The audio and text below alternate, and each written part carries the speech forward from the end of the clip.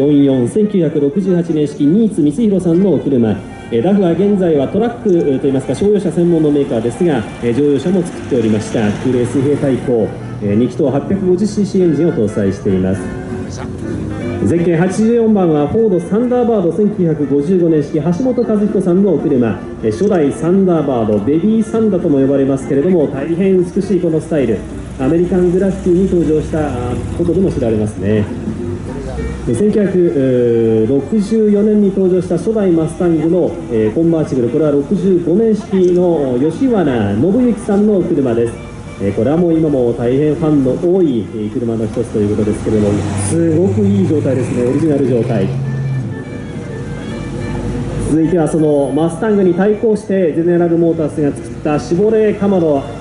えー、SS のこのコンバーチブルです。えー、マスタングの対抗モデル初代カマロ。1967年から4年ほどしか作られなかった初代モデルのうちの1台です。さあ続いては大きな車が登場。キャデラックデビルフォードアセダン1959年式、えー、市村正人さんのお車です。1959年はテールフィンが最も巨大化した時代でありましてこのキャデラックも一番大きな車体を持って